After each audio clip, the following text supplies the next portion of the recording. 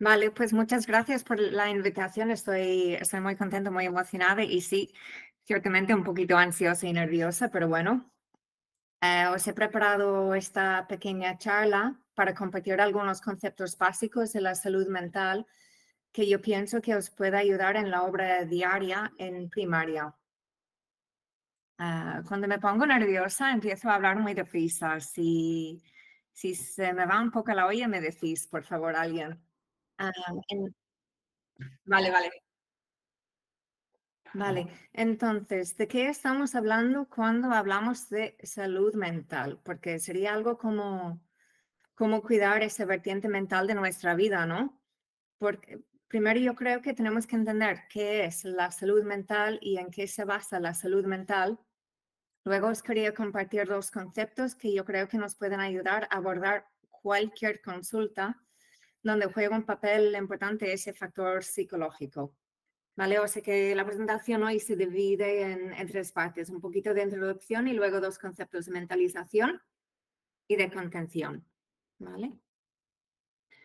Entonces, la salud mental. Yo hoy quería ir a los súper, súper, súper básicos, como si no supiéramos nada de la salud mental, porque creo que en la formación, la formación en ello yo creo que ha sido bastante escasa escasa en nuestro periodo de formación especializada en la residencia y la carrera ya para muchos está bastante lejos y a lo mejor también hay a lo mejor también ahí fue algo deficitaria en cuanto a los conceptos básicos de salud mental. Así que, que vamos a, a desgranar la salud mental. La salud sabemos todos qué es y lo mental pues por si acaso, para ayudarnos a entender todo lo que voy a, explicar a continuación, pues lo mental también podemos desgranar hacia los fenómenos que constituyen nuestra vida mental y vemos qué son.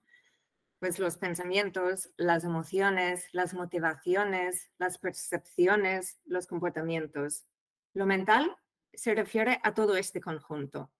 Entonces, cuando hablamos de la salud mental, es gracias a este conjunto de fenómenos, se permite que una persona se mueva por el mundo, se adapte a ello, interactúe, se relacione con ello de una manera que no le causa problemas mayores, ni angustia ni de estrés. Bueno, algo de sufrimiento siempre es normal y, y fisiológico y necesario para el crecimiento, pero vamos, que no nos genera problemas muy grandes, ¿no? Por lo tanto, podemos deducir que la salud mental es la capacidad de aprender, amar y jugar. ¿Vale? ¿Cómo cuidar la salud mental entonces? Pues también yo creo que tenemos que ir un poquito atrás y entender cómo se forma la mente para entender cómo se cuida. Es un poco como estudiamos embriología en la carrera.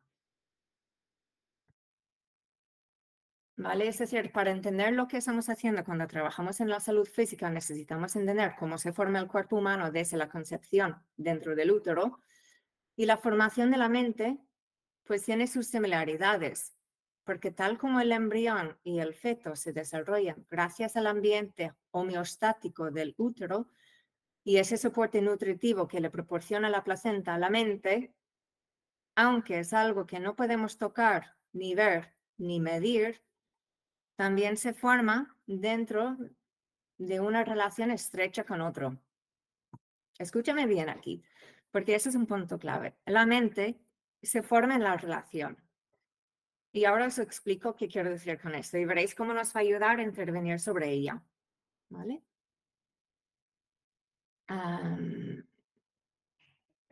bueno, que, que, voy atrás un momento, que quería decir algo más aquí, que, que nuestra capacidad de pensar de entender las emociones, de motivarnos, nuestras percepciones y comportamientos se desarrollan en la compañía de otra mente. Otra mente que nos hace de referencia y permite que nuestra mente se organice y empieza a poder formular pensamientos propios sobre todo lo que nos pasa. Aprendemos a lidiar con nuestras emociones y luego el resultado final de todo este interjuego sería cómo nos comportamos, que también influye en cómo nos tratan y todo esto crea un sistema interdependiente de gran complejidad. O sea que como un espejo la otra persona nos permite ver a nosotros como individuos. ¿Vale? Pensamos en cuando nacemos. Pues si esto es todo un poco esotérico, un bebé recién nacido, ¿qué puede hacer? Pues no puede hacer nada por sí solo. Necesita que la mamá le dé de comer, le limpie, le cambie la ropita. No puede pensar mucho tampoco. Y la madre le consuela cuando llora.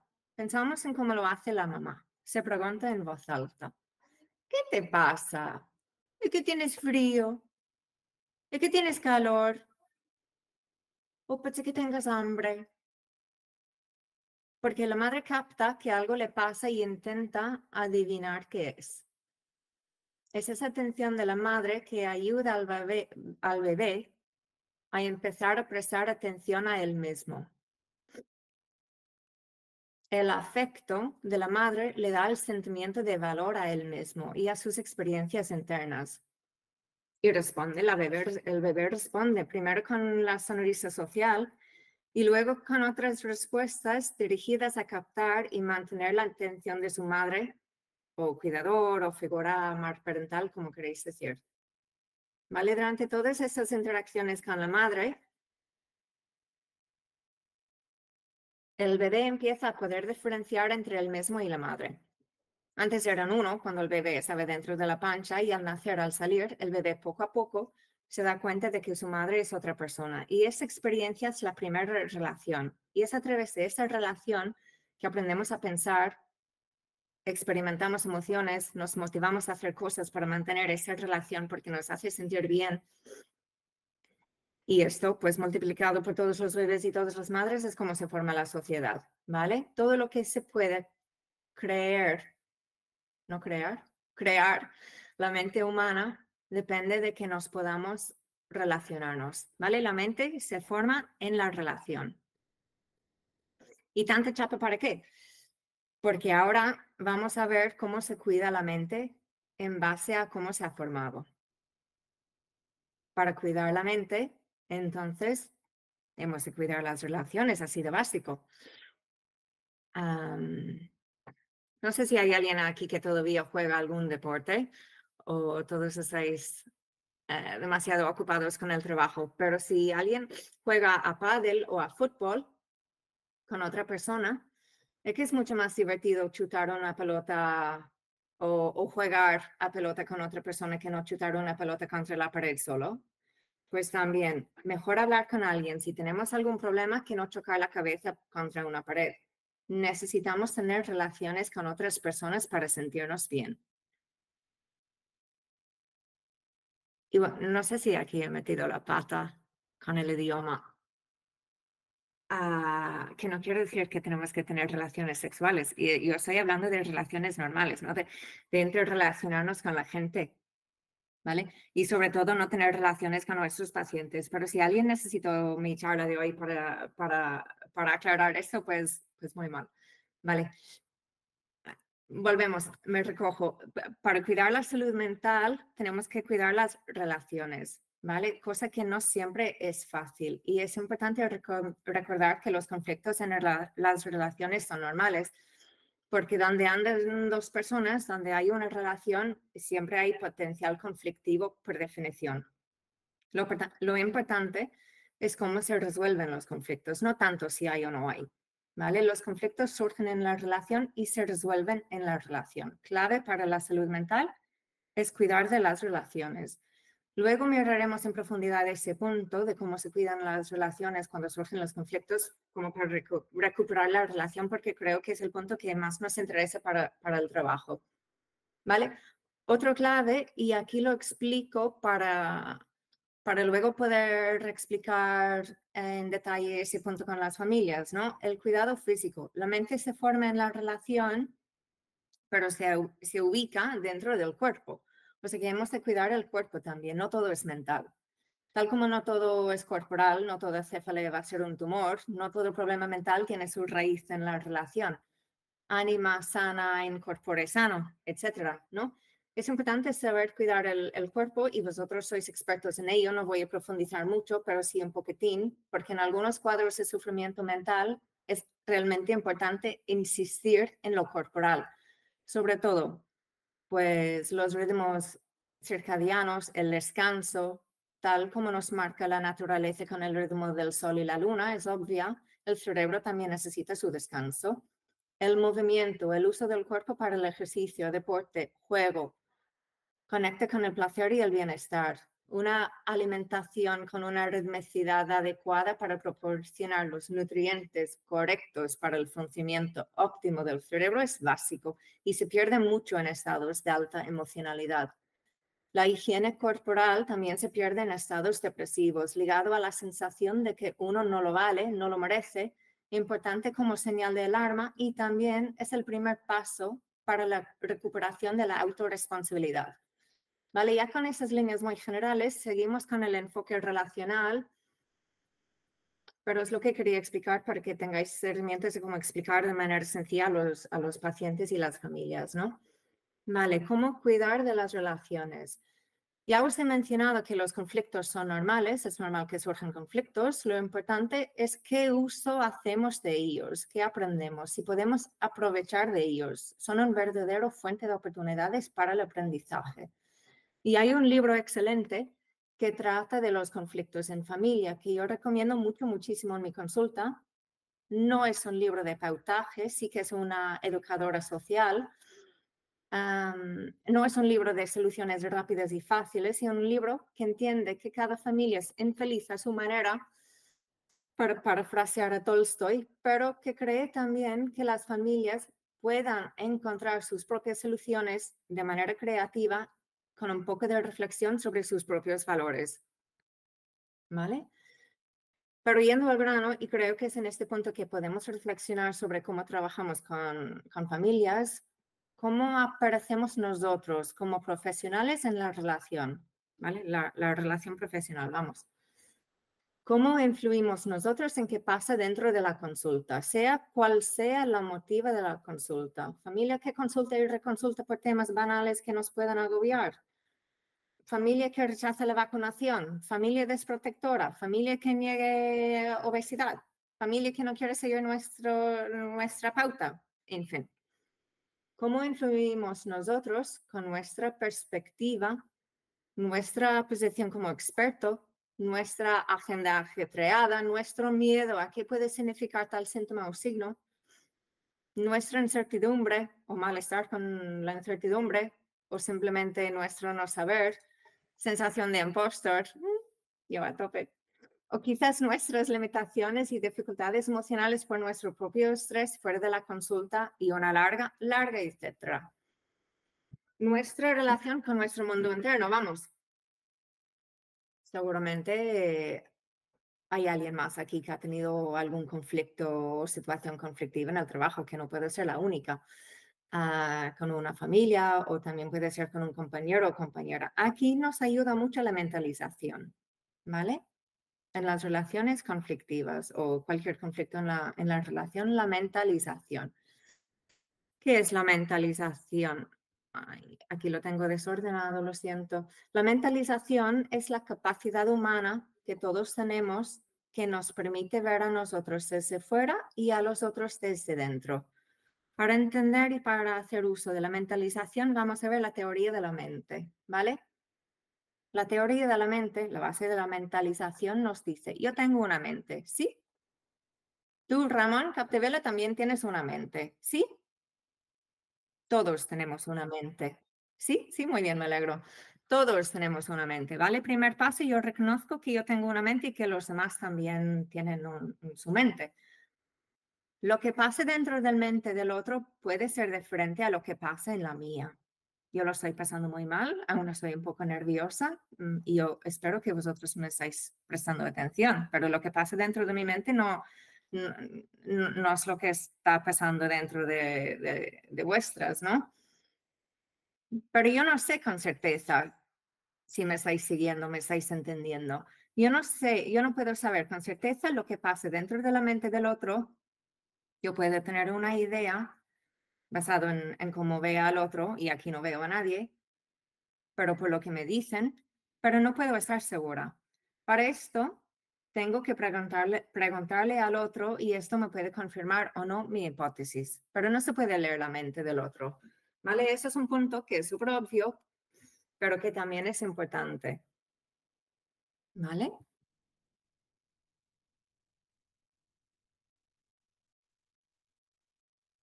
Entonces, bueno, vuelvo aquí un segundo, perdona el, el desorden he dicho antes, eh, he explicado, ¿no? La mentalización es la capacidad humana que todos tenemos, me repito, porque es importante, que nos permite ver a nosotros desde fuera y a los otros desde dentro. Nos ayuda a la hora de entender las dinámicas que surgen en las relaciones y influir positivamente en ellas para que nosotros no suframos tanto con este trabajo y las familias estén mejor acompañados y sus hijos reciben el mejor cuidado posible, que es el objetivo, ¿no? Porque sí que es cierto que todos tenemos esa capacidad humana de mentalizar, perdemos esa habilidad a menudo, muchas, muchísimas veces durante el día y sobre todo cuando estamos abrumados emocionalmente. ¿Vale? Es entonces cuando estamos abrumados, cuando surgen los estados no mentalizantes. Cuando hay un conflicto que nos afecta emocionalmente, no se inhibe nuestra capacidad de mentalizar. Y si respondemos desde una emoción fuerte, pues también inhibimos la capacidad mentalizante en el otro, sobre todo cuando somos un referente para, para esta persona y acabamos en un círculo vicioso no mentalizante. ¿Vale? Entonces, ¿cómo ayudar a mentalizar al otro? Antes de lo perdemos del todo, ¿no? Primero, atención. Pues aquí es la regulación de la atención, el primer paso, atención. Atención a lo que os he explicado de la teoría de la mente, que el otro tiene otra mente con otras ideas dentro y yo no sé qué le está pasando si no le pregunto. Atención a que somos dos mentes, ¿no? Atención a nuestra emoción y atender al otro con autenticidad. Tenemos que reconocer que nuestra manera de pensar o sentir puede crear confusión en el otro. Porque nosotros tenemos ideas, protocolos, nos trabajamos, bueno, trabajamos dentro de un sistema limitado, ¿no? Mm, tenemos nuestras obligaciones, tenemos que reconocer que el otro tiene otras prioridades, ¿no? Y nuestra manera de expresarnos puede crear confusión en el otro por esto, ¿no? Luego responder desde la curiosidad de qué puede estar pasando por la mente del otro y atender a esa demanda que muchas veces es una demanda no explícita. ¿Vale? ¿Y por qué insisto tanto en todo eso, en la mentalización? Porque yo creo que nos va a ayudar mucho a entender los motivos de consulta y la forma en que nosotros reaccionamos a, esa, a esos motivos de consulta, sobre todo en los momentos de ser más desbordados, como probablemente lo es una consulta en primaria de tipo salud mental, sobre todo si no sabemos qué hacer. Lo importante aquí es no caer en la no mentalización, porque no nos va a llevar a una respuesta muy adecuada. También insisto en la mentalización porque cuando los padres vienen con consultas de tipo salud mental, probablemente ya están muy desbordados y probablemente ya están expresando un alto nivel de emocionalidad y hemos de modelar la mentalización. ¿Vale? Porque es el factor se ha visto con muchos estudios, que es el factor común a todo psicopatología, la no mentalización. ¿Vale? Y una mentalización adecuada es el factor P, el factor protector, que es lo que conlleva lo que se llama hoy en día la resiliencia, la, la capacidad de sobrellevar situaciones traumáticas para que no se conviertan en trauma. El reconocimiento de un otro nos ayuda a no desarrollar un trauma cuando hemos tenido vivencias traumatizantes. Y la ausencia de reconocimiento es lo, que conduce realmente a un verdadero trauma. ¿Vale? Lo que quiero decir con todo esto es el sufrimiento emocional en aislamiento es el factor psicopatogénico más importante. O sea, que pensamos en COVID. ¿Qué coño ha sido, no? De ahí la importancia de las relaciones, para evitar ese aislamiento, poder mentalizar en las relaciones y recuperar la mentalización cuando se pierda. ¿Vale?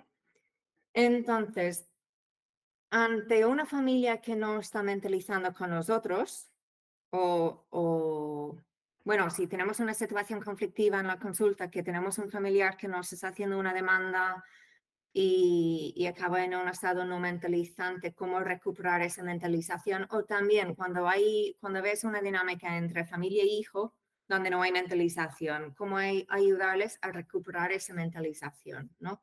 Porque si es la base de toda enfermedad mental, da igual el diagnóstico al final. Si podemos coger esto muy al inicio de un proceso, de una demanda de sufrimiento psicopatológico o psicológico, podemos evitar a que vaya más. Esa es la idea de, primaria, ¿no?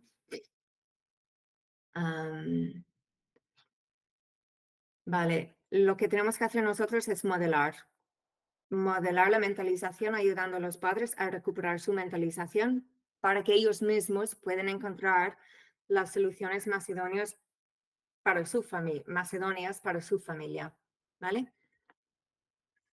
Y lo natural, cuando uno no entiende qué pasa, lo, lo, normal es hacer cosas, ¿no? Si no tenemos mucha formación en salud mental, si no sabemos qué hacer, pues hay mucha tendencia a hacer cosas, querer hacer cosas. Pero es importante recordar que aún ante un caso de un niño grave en urgencias, aún paramos para hacer el TEP, que es un ejercicio de observación. ¿Vale? Lo mismo aquí, paramos, observamos y exploramos, no correr a hacer cosas, no correr a decir cosas, ¿vale? No vale que les decimos a las familias directamente qué tienen que hacer, qué límites, qué normas, qué pautas. Fijaros, como esto aumenta la percepción de que nosotros les demos, les demos todas las respuestas, que ellos mismos no pueden. Y que lo que les pasa realmente es terrible. Hay que hacer algo. Y hay sentimiento de, de desesperanza y dependencia y aumento de presión esencial, sistema sobrecargado, burnout, fin, ¿no? Primero, paramos observar y explorar, ¿vale? La mentalización es especialmente importante en estos momentos. Vale, entonces, si os acabo de, decir que hemos intentado no hacer nada, ¿qué hacemos? ¿no? Porque suena muy bonito que yo hago un video meeting, si yo sigo, no hacer nada, muy fácil. Y, eh, y le mandamos para casa. Y, y entonces, ¿qué hacen? No, pues no hacemos nada, pero que sepáis que no hacer nada es hacer mucho. Y muchas veces es lo mejor que puedes hacer. Calladitos estáis más, más guapos, ¿no? Pero cuesta. Cuesta un esfuerzo grande porque como médicos estamos exquisitamente preparados para la intervención. Y encima la formación nos inculca a intervenir. La población espera, pide y busca nuestra intervención y el sistema refuerza y monetiza nuestra intervención activa. ¿Cómo lo hacemos entonces? Aquí os quería hablar un poco de la contención, ¿vale? El concepto de la contención está íntimamente conectado con el de la mentalización, porque la mente se crea cuando el mundo interior de uno se encuentra con otra mente externa en la forma de un contenedor que contiene su malestar. Aquí no estoy hablando de contención farmacológica, física, mecánica, nada, ¿no? Es, es más bien una contención afectiva. Vale. No me gusta tampoco hablar de la contención emocional porque las emociones son para ser expresadas, ¿no? Eso de la gestión emocional no me gusta nada. Hay que, hay que aprender a expresar las emociones de una forma que no nos hace daño, pero que vuelvo, vale, la contención. Cuando una mente, cuando la mente de uno se encuentra con otra mente en forma de, de un contenedor que contiene su malestar, que es como lo que os había, explicado antes con la madre, que le da sentido a lo que el bebé experimenta del mundo.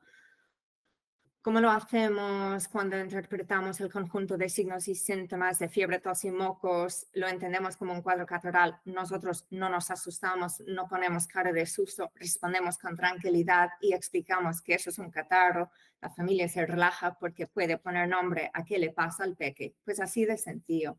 Lo mismo con el malestar psicológico o el estrés emocional. ¿Vale? Y siento mucho la gráfica porque he hecho una foto de un libro que tengo porque no lo encontré en otro sitio. Tampoco me dio la vida como para hacer esa gráfica tan chula yo sola con el Google Slides, hubiera sido imposible. Pero la contención se puede representar gráficamente así. ¿Vale? En la posición A tenemos el bebé, el infant. El bebé tiene unas sensaciones que abr- que la abruman, no las soporta, las externaliza. En posición B está la madre, mother, y ella lo que ve es que su bebé está destresado, que tiene estrés. Vamos, aquí está el momento crucial. Si la madre está capa- es capaz de reconocer y aceptar este estrés, y no es un proceso intelectual. Ojo, importante aquí para nosotros san- sanitarios que intelectualizamos desde que sale hasta que se pone el sol. La madre ha de poder realmente sentir el estrés del bebé. Debe experimentar hasta cierto grado sus aspectos abrumadores y aterradores, o sea que tiene que realmente, pues eso, sentir como corporalmente, físicamente el estrés. Los sentimientos se llaman así porque se sienten en el cuerpo. La madre tiene que sentir esto, ¿vale? Ahora hay un momento de recuperación. La madre con su sistema psíquico más maduro puede hacer una reformulación y pensar sobre este estrés. En hacer esto, destoxifica su naturaleza abrumadora. La madre puede dar nombre a ese estrés. Se ha cambiado algo abrumador en algo reconocible. La clave aquí es que la madre puede interiorizar la experiencia del bebé, puede sentir lo que siente el bebé y puede metabolizar lo que siente el bebé, devolviéndolo, devolviéndole al bebé algo más digestible. Es que yo creo que ese concepto es muy interesante para nosotros en primaria porque nos ayuda a ver hasta dónde hemos esforzarnos para entender a nuestros pacientes o padres, padres de pacientes en momentos de alta emoción, como puede ser la consulta médica, porque recuerda que vienen porque no saben qué le pasa a su hijo y tienen miedo. Ya están en un estado de alta emocionalidad. Hemos de estar receptivos al estrés, que puede ser explícita explícitamente verbalizado o no. Atención a los mensajes implícitos y el lenguaje verbal, observar y interpretar la expresión emocional, pero ojo, nosotros tenemos que poder sentir la emoción del otro. Puesto. Y aquí quería mencionar un poquito la disociación porque es un fenómeno que nos ayuda hasta cierto punto, es un mecanismo de defensa ciertamente que tiene sus vertientes sanas y sus caras muy peligrosas. Cierta disociación es necesaria y sana, pero cuando ya nos disociamos del todo no podemos contener al otro porque para poder contener hemos de poder sentir. ¿Vale? Vale, pues estamos en la consulta y estamos haciendo contención. ¿Y luego qué? ¿Le damos el alta a casa y, y a ver qué hacen ahí con su estrés? No, podemos ir un paso más. Podemos mirar los diferentes niveles de contención aplicables según el caso, ¿no? Ponemos un ejemplo, un niño de 10 años con ideas pasivas de muerte sin ideación suicida bien fundamentada, que expresa de forma intermitente a sus padres instrumentalizándoles, todo eso en reacción a un estrés escolar. Es un niño de una familia inmigrante bien integrada en la comunidad, ¿vale? Vamos a ver los niveles de la contención, ¿vale? Primero, contención del mundo interno con este niño. Pues podemos hacer algo como, siento mucho y reconozco tu, tu estrés, ¿vale? Bueno, nosotros a nivel interior, ¿no? Yo siento reconozco tu estrés, lo acepto, no me abrumo, te lo puedo devolver de una forma más digestible para ti. Por ejemplo, podemos hacer algo como, oh, siento mucho que lo estés pasando tan mal. Uno debe estar muy mal para pensar que la vida no vale la pena ser vivida, pero, pero a veces cuando otros niños y niñas hablan conmigo, acabamos viendo que lo que realmente quieren y desean es un cambio, porque, porque hay algo en su vida que los molesta mucho y no la saben cambiar. ¿no? Aquí estamos ofreciendo como una persona receptiva que acepta su malestar y le acompaña sin asustarnos, no nos llevamos por el miedo, ¿vale? Podemos también ofrecer recursos para la regulación emocional, la autocontención, contención afectiva al niño y a los padres, ¿vale? Cu- Cuando digo recursos, bueno, luego en la última diapositiva tengo, yo he puesto algunos libros y algunos recursos, ¿vale? Pero, por ejemplo, aquí para contención del mundo interno sería como ejercicios que el niño puede hacer él mismo o, o acompañado por sus padres para aprender a hacer como relajación, relajación muscular progresiva, para reconocer momentos cuando él está más tenso, ejercicios de respiración por la noche para ayudar a conciliar el sueño, cosas así, ¿no? ¿Vale? Pero sobre todo la contención afectiva, de que yo percibo y capto esa emocionalidad, la reconozco, eh, le doy un giro y, y lo devuelvo, ¿vale? Contención a nivel del cuerpo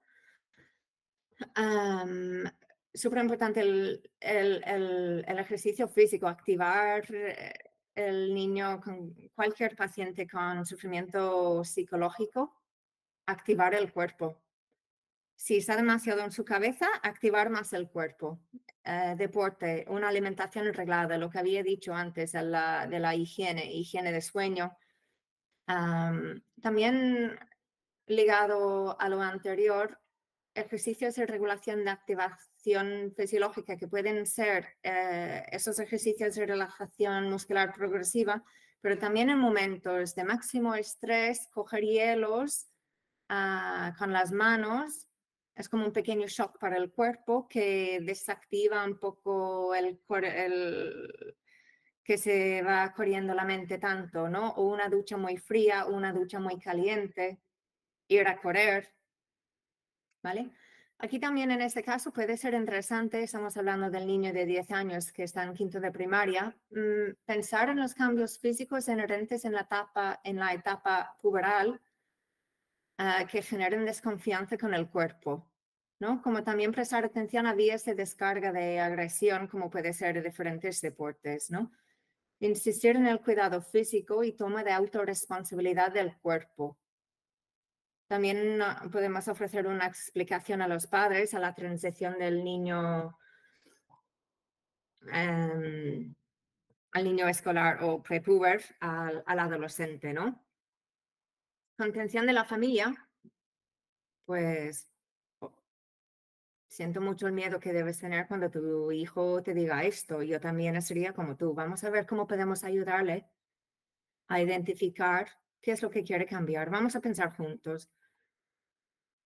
¿No? Con esa actitud de curiosidad. Vamos a pensar y preguntar, ¿no? Ah, oye, ¿cómo respondes a tu hijo cuando te pide ayuda? ¿Crees que puede ser que a ti también te asusta mucho y eso le puedes transmitir a él? ¿No?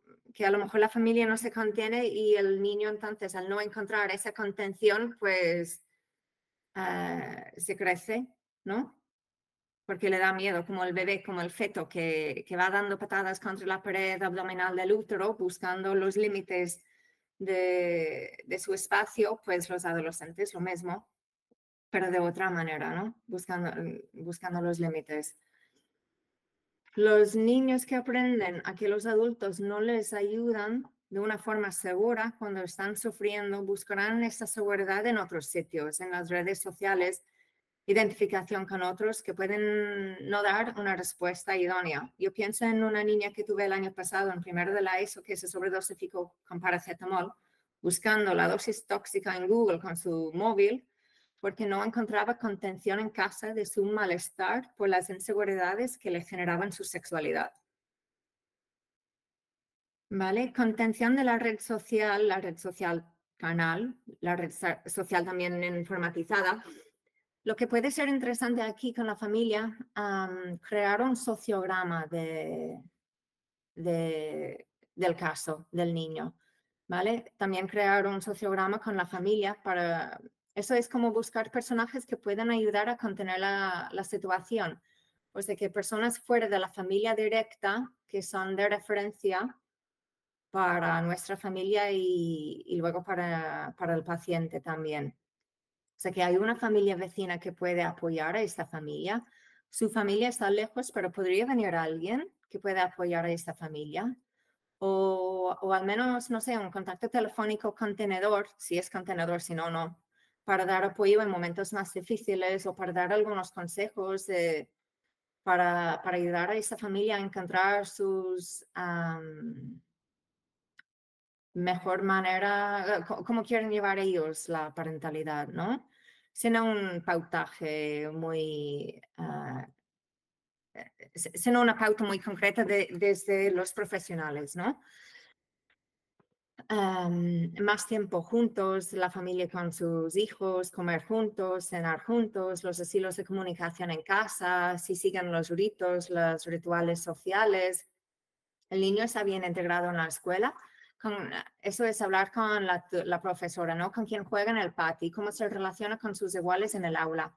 Queda con amigos fuera del aula, hace alguna actividad o deporte. Todo este ejercicio haciéndolo conjuntamente con la familia, nos ayuda a hacerle ver a la familia dónde pueden buscar contención, contención en el círculo social. Cuando esa primera persona, el paciente o la familia ya no se puede contener. Pero sin decirles que es para que no tengan que recorrer directamente al sistema sanitario, pero esa es la idea, ¿no? Luego, contención en la red profesional de servicios especializados, que, ojo, que pediatría y detención primaria ya es servicio especializado, pero cuando ya el caso está dentro de este nivel, pues atención primaria, EAP, TESMIC, servicios sociales básicos, fijaros que es, es el último escalón aquí que hay muchos puntos donde podemos contener al niño antes de que derive a los servicios especializados. Y esa es la idea fundamental de la contención en primaria. Poder ayudar a las familias. Es súper importante para nosotros profesionales tener una relación estrecha de colaboración con esos equipos de intervención en familia de cada zona. Conocer muy bien los, em, conocer los profesionales de CESMIC y hacer coordinaciones con ellos, con EAP, con servicios sociales. ¿Vale? Y luego pensar también, eh, aquí he puesto más gráficamente, pero me ha salido muy feo, no sé, pero bueno, también quería pensar un momento en el trabajo que hacemos de prevención de todo, de todo esto, ¿no? De, de, la, parte de salud mental. bueno, con bueno, a nivel sociopolítico, ¿no? Recomendando siempre más tiempo con los hijos y también con el programa de seguimiento de niños sano que hacemos. Cada consulta es, debe ser y al menos puede ser un momento para recoger ansiedades y contenerlas.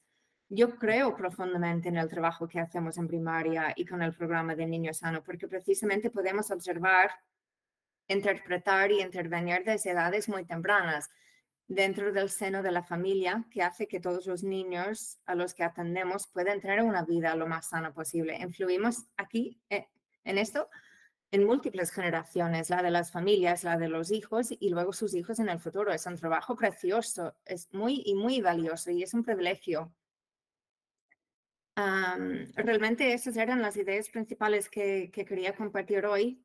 Eh, los conceptos básicos de la salud de, la mente, cómo se forma la mente, la mentalización y la contención. Y, espero que, que, os haya servido de algo, aunque son ideas muy simples, seguramente son cosas, no he dicho ninguna novedad, ninguna cosa rara, pero yo creo que nos puede ayudar a tener ideas más estructuradas y una estructura nos contiene a nosotros para poder contener a los demás.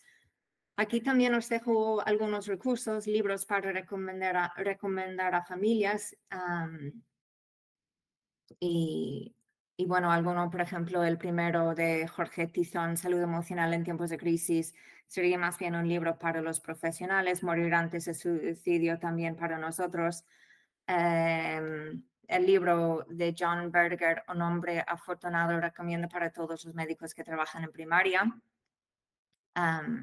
el libro abajo a la izquierda, ¿qué puedo hacer cuando estallo? Viene de toda una serie de libros de qué puedo hacer cuando me obsesiono, cuando tengo miedo, por ejemplo. Son libros largos de hacer muchas actividades y ejercicios con los niños. Los padres lo pueden hacer, son muy, son como workbooks, no sé cómo se llaman aquí en castellano, pero bueno, son libros muy útiles para las familias aquí he puesto una captura de pantalla de la edición 68-69 de CISO Saúde, que es una, me parece que es una revista de salud mental de Galicia, y hay un artículo aquí que habla de las demandas de los padres a salud mental, los, habla de los padres postmodernos, y yo creo que es súper, súper, súper interesante para nosotros.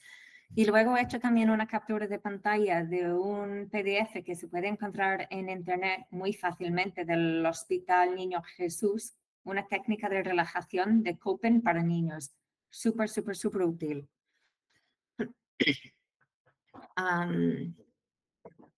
porque sí, eh, eh, el, trabajo he dicho que es un privilegio, sí, es un privilegio, pero cada vez es más difícil por la presión que nos mete, tanto desde la población de, como desde arriba en el sistema. Y si os abruma, toma un poquito de tiempo, conectar con tus sentimientos. Yo siempre recomiendo buscar actividades de expresión corporal a través de alguna actividad, uh, conectar con los biorritmos de la naturaleza para alargar la mecha, localizar a tu propia red social de familia y si hace falta con un equipo especializado. ¿No? Si os sobrepasa, conocer la Fundación Galatea, que creo que todos ya la conocéis porque se ha hecho bastante difusión, pero sí, os animo si alguien está pasando por un momento muy difícil de desesperación, de no ver salir a contactar con ellos, porque nosotros no somos inmunes a esto. El caso que os acabo de presentar como para desgranar los diferentes niveles de contención ha, sido mi hijo la semana pasada. no somos islas, todos necesitamos ayuda en algún momento. Nos hemos de cuidar porque cuidamos mucho a los demás y con nuestro trabajo estamos asegurando el futuro de nuestra sociedad, que no es tan mal. Pero si estoy diciendo que tenemos que conectar más con nuestras emociones en el trabajo, pues sí, cuesta más, cuesta más aún el trabajo. ¿Vale? Y, y, y esto, gracias y no puedo hacer eso sin una dedicatoria a María Lamana. Así que con esto termino. No sé si alguien tiene alguna pregunta o si os ha servido de algo.